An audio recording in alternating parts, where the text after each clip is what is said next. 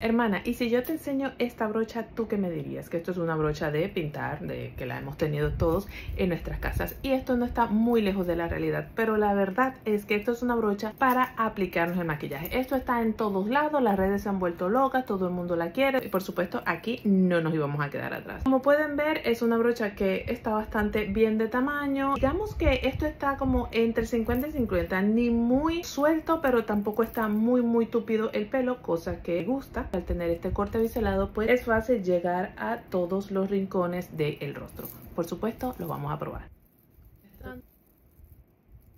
Como pueden ver a solo toquecitos está bastante bien, la base se trabaja bastante bien y de este lado obviamente no tenemos nada y se los quiero mostrar así porque quiero que vean que la brocha no absorbe casi producto y si yo me aplico de este lado pues no tengo absolutamente eh, nada porque la brocha no lo absorbe.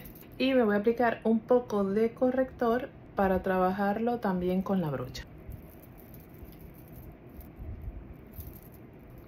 Señores, perfecto. Me encanta cómo puedo llegar hasta el final del ojo sin tocarlo, sin irritarlo y que el producto lo pueda distribuir muy muy bien.